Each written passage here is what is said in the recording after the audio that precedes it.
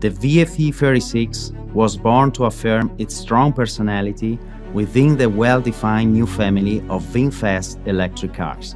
A personality made of a unique style, imposing volume, generous spaces, retaining a sensitive bond with the family's charisma, but distinguishing itself for its grandeur and elegance. The exterior took inspiration from the Nautico, a sector in which Pininfarina has been active for more than 30 years. The impressive volumes are made dynamic by the proportion and the design of the roof with its strong inclination and floating feeling, a very distinctive element of the side.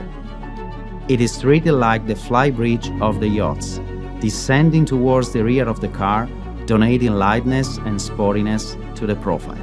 The theme of the suspended elements has become the stylistic mark of the car.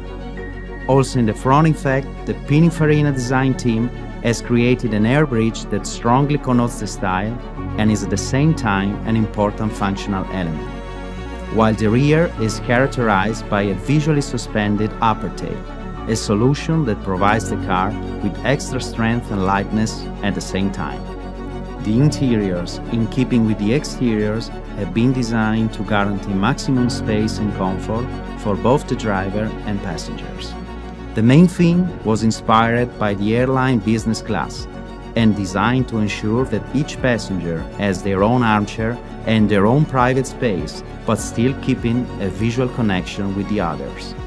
Everywhere surrounded by a unique atmosphere as a mix of the newest technology and handcrafted materials. A VinFast tailored to the world.